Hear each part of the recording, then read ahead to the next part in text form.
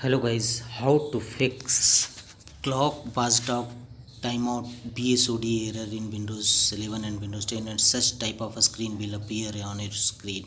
And the first workaround is a scan system file. For this go to windows search type cmd and open command prompt window as administrator mode. Press yes for confirmation and in black screen window. Type the command sfc space slash scan now and press enter key to execute the command. The system file checker will check the corrupted file system and repair them accordingly.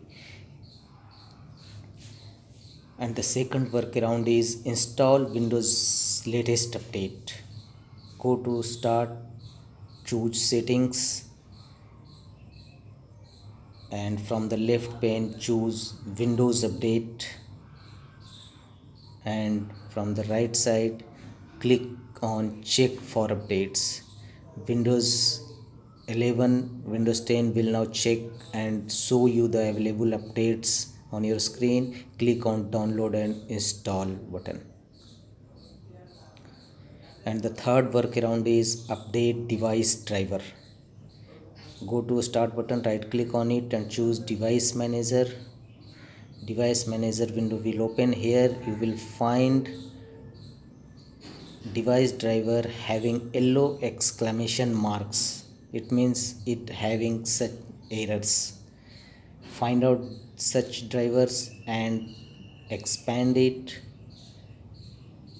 right click on driver and choose update driver. In next window click search automatically for drivers. Windows will now search for your best driver for your system and update this driver. Such type of a screen will appear on your screen and the next workaround is apply system restore. Press right click on start button choose run command.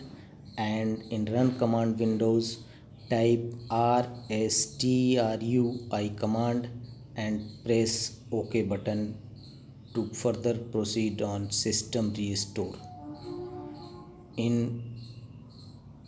restore system files and settings. You will find recommended features. Click on next. And further confirm your restore point and click finish button to restore your system settings. That's all